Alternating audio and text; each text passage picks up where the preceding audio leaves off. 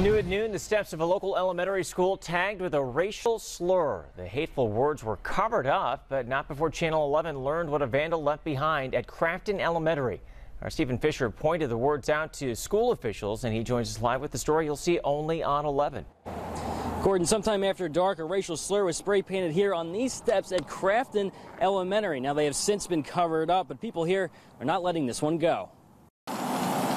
Wednesday morning, Crafton Elementary employees covered up a racial slur that was spray painted on their school steps overnight. Neighbors who walked by couldn't believe what they saw. Oh my goodness, I never even saw that.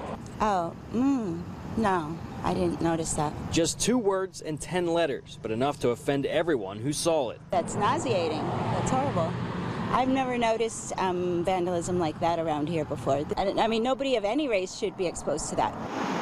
Neighbors now want the author of this obscene gesture exposed. No place for here, the school, anywhere, no area. We shouldn't have something like that. And they were clear in saying they're not going to accept it. People are people. I don't care what color you are. You know, it's just the way it is. Or at least the way it should be. Again, uh, workers here did cover up this racial slur here behind me. Now they do say they're going to try and get rid of it altogether as soon as possible. Reporting live in Crafton, Stephen Fisher, Channel 11 News.